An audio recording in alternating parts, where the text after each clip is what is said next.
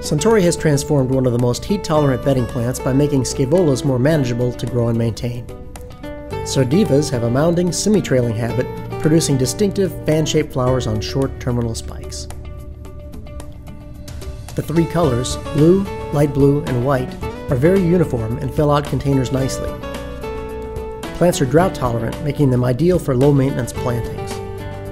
Much more compact than other scaevolas on the market, Surdivas are excellent for 4 inch production, window boxes, hanging baskets, and combination plantings. Plant rooted cuttings in 4 inch pots or larger, using a free draining media with a pH of 5.5 to 6, and maintain a substrate EC of 2.0. Slow release fertilizer is recommended, in addition to liquid fertilizer with 3 to 4 months longevity.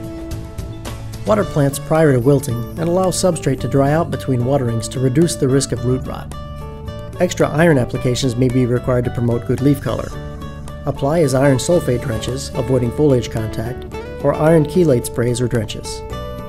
Purpling of the foliage can be a result of low phosphorus and is more prevalent in some colors. Moderate to high phosphorus levels can cause yellow-red coloring in older foliage. Plant growth regulators are not necessary on Surdivas, as pinching can encourage the correct shape and control growth. However, paclobutrazol drench and uniconazole work well on Scaevola. For 4-inch pots, crop time will take 6 to 7 weeks with one liner and one pinch.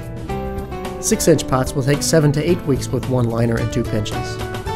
10-inch baskets will take 12 to 15 weeks with 3 liners and 2 to 3 pinches. Less pinching is required when plants are grown cool.